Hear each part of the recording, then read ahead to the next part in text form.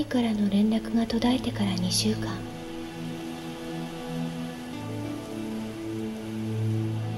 残されたメモを手がかりに私はここにたどり着きました。何かに呼ばれるようなそんな不思議な感覚を覚えながら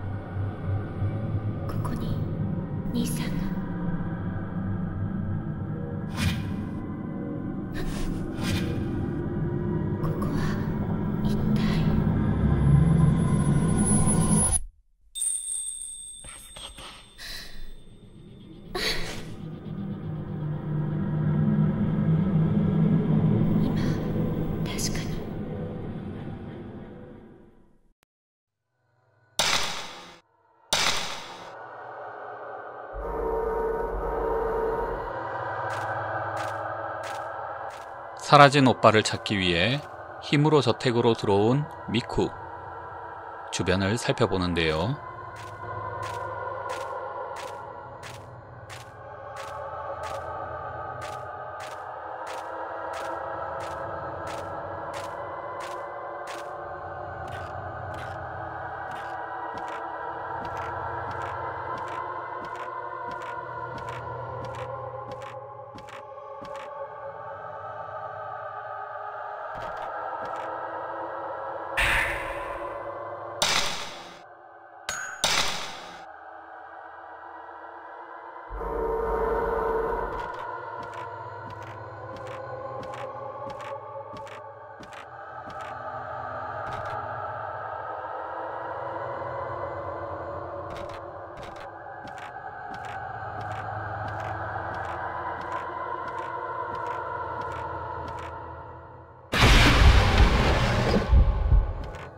열자 누군가가 미쿠를 쳐다보고 있고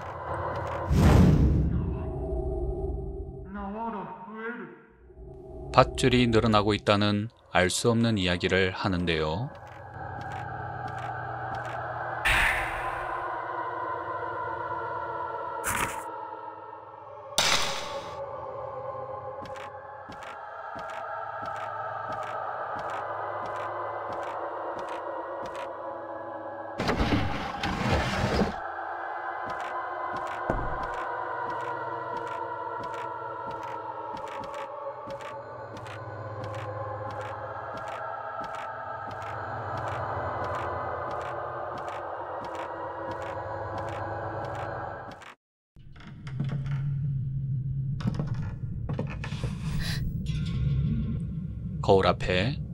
오빠의 사진기가 놓여 있고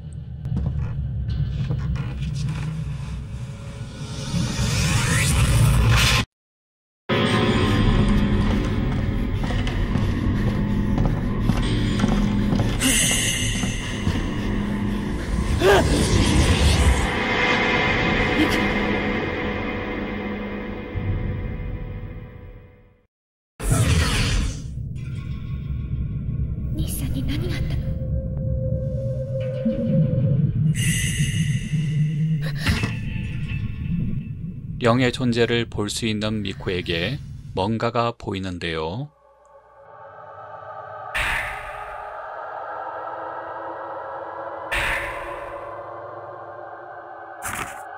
오빠의 노트에는 힘으로 저택에 관한 내용이 적혀 있고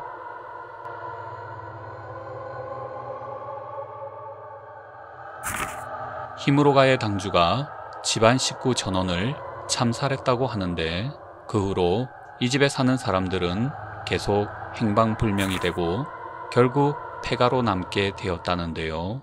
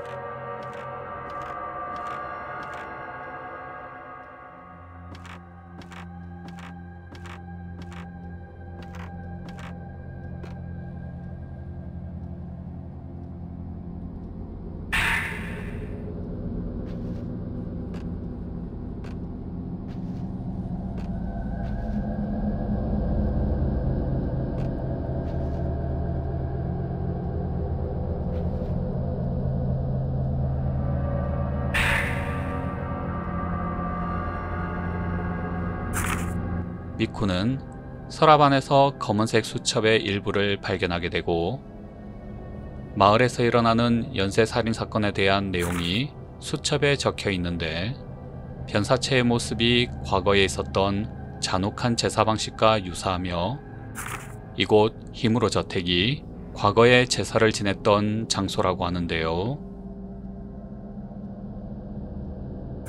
하지만 시간이 지나면서 제사에 대한 기록은 남아있지 않고 전설로만 전해져 내려오고 있다고 하는데 수첩 안에는 신문 기사의 일부가 들어있고 기사 내용을 살펴보면 토지의 재앙을 막아주는 어신경이라는 다섯 개의 거울이 있는데 지진이 발생하여 모두 부서지는 사고가 일어났고 이 불가사의한 현상 때문에 신사의 신주들은 불길한 재앙이 일어나지 않을까 다들 걱정했다고 하는데요.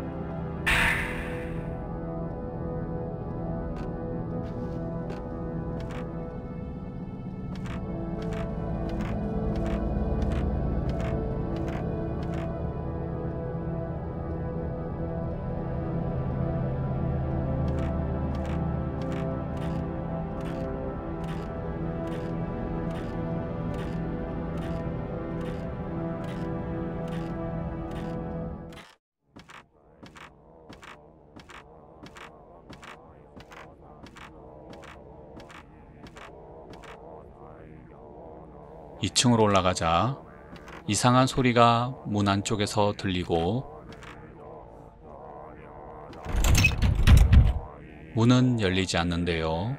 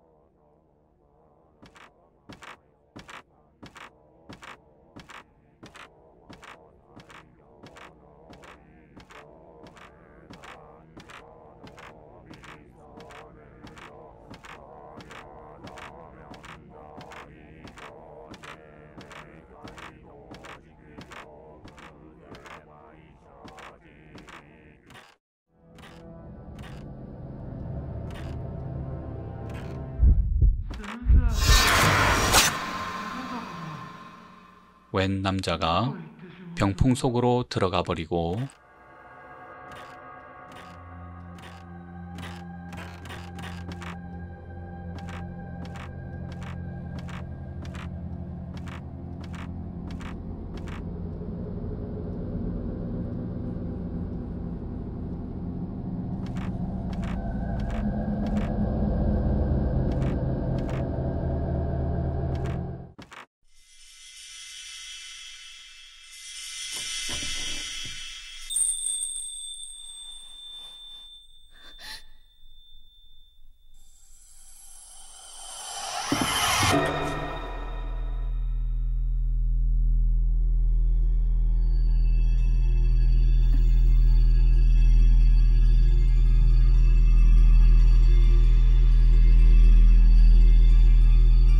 갑자기 나타난 의문의 소녀가 병풍을 가리키는데요.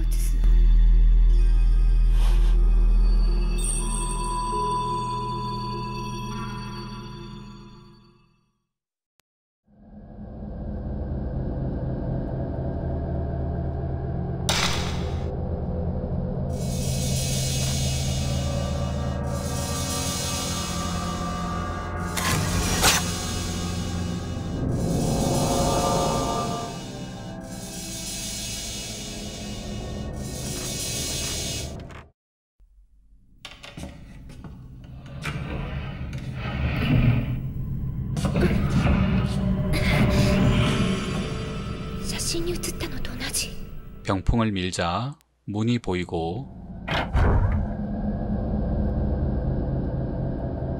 미쿠는 그곳으로 들어가는데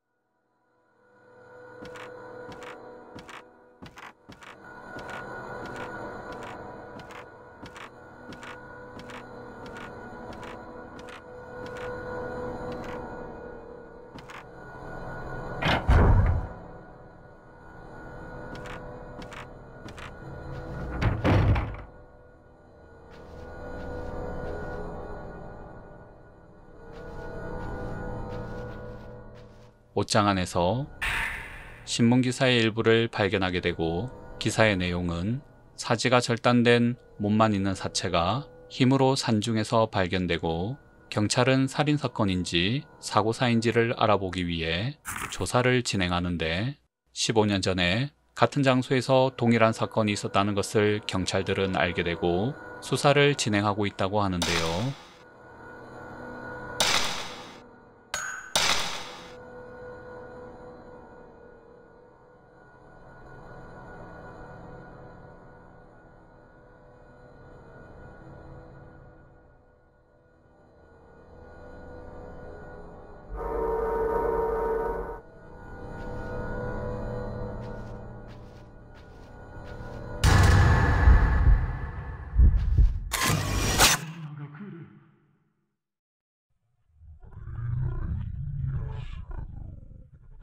어디선가 사람의 목소리가 들리고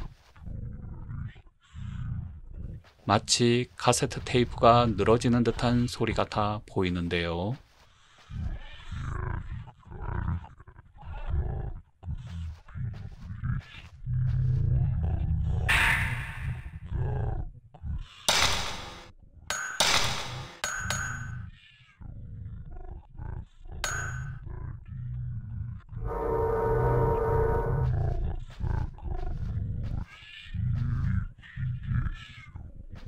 소리가 들리는 곳으로 간 미쿠.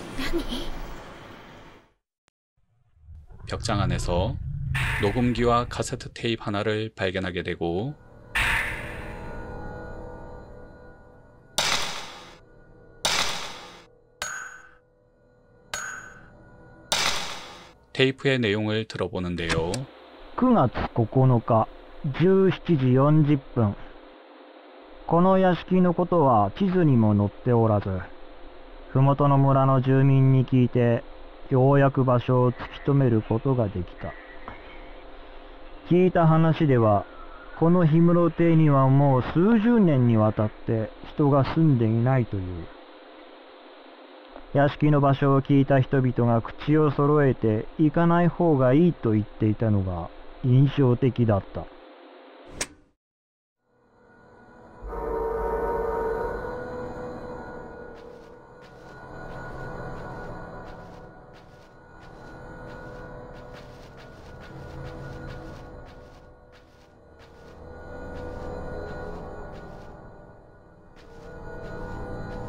열려있는 문으로 들어가는 미쿠.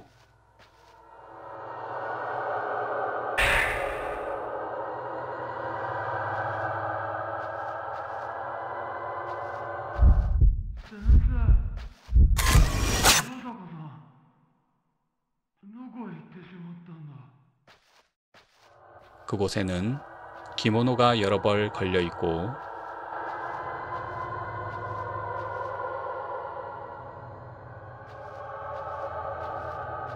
거울이 빠진 경대가 놓여 있는데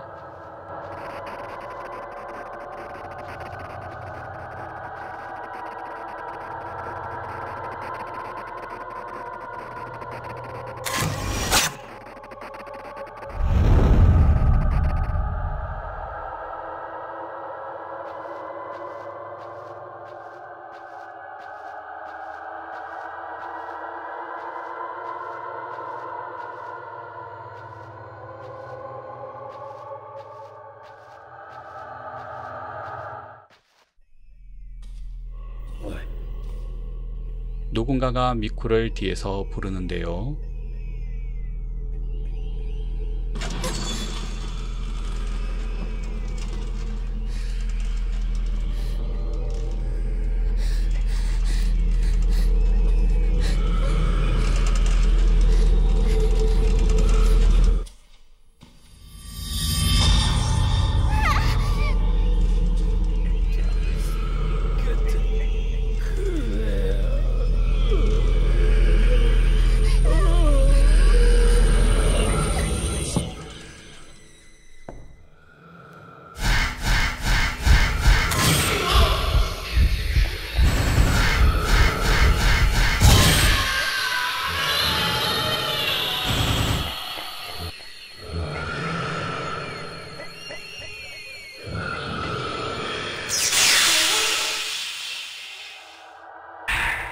사진기를 업그레이드 하려면 일종의 점수에 해당하는 영역을 모아서 사진기의 봉인을 하나씩 풀어야 하며 특수 공격을 해제하면 가지고 있는 영석 개수만큼 특수 공격을 사용할 수 있습니다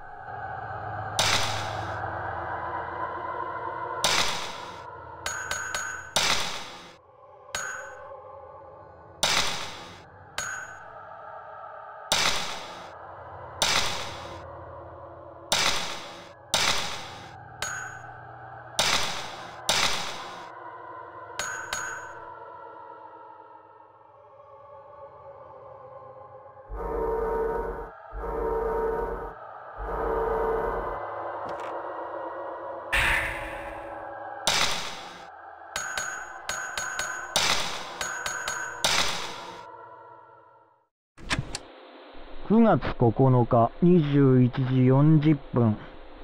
夜の山を歩くのは危険なためこの屋敷に泊まり込んで引き続き取材することになった。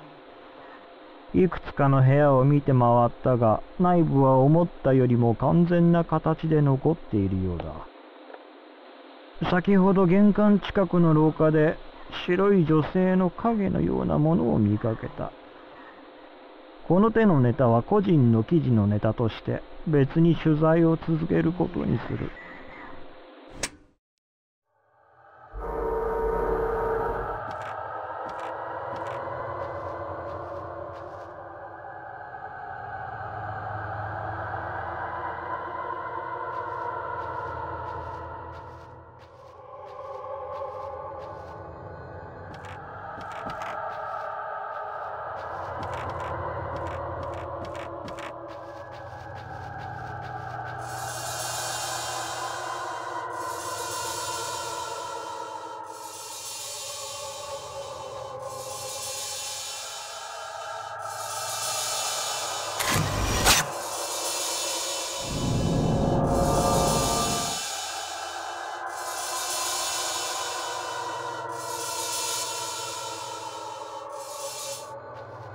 사자머리가 있던 화로방으로 향하는 미쿠.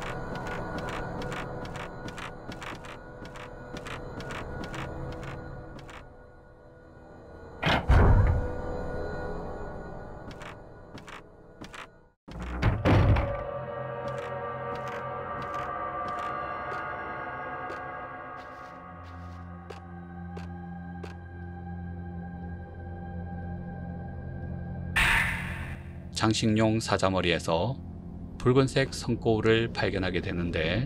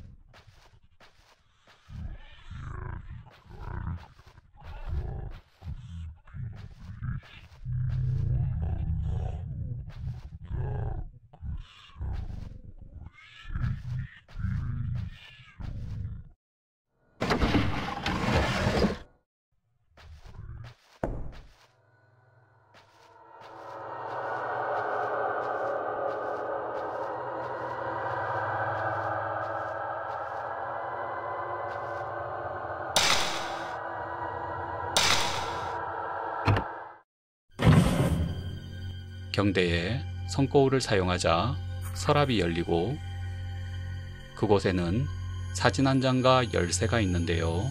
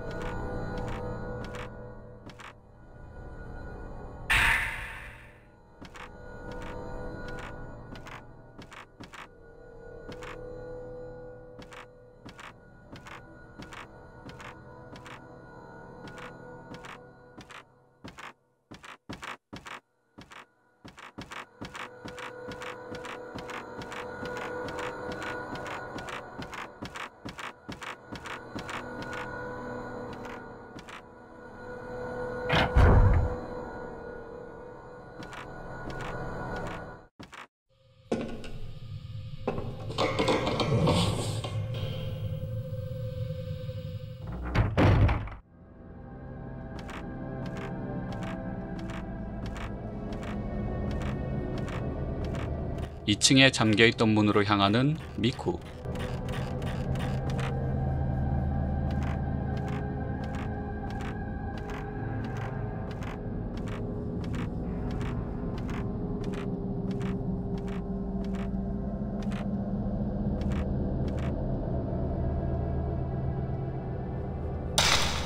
서랍 안에서 발견한 열쇠로 문을 열어보는데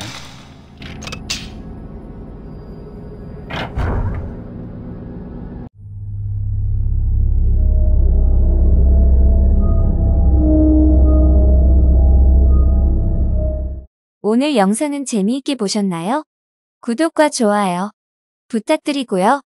다음 영상도 시청해 주실 거죠?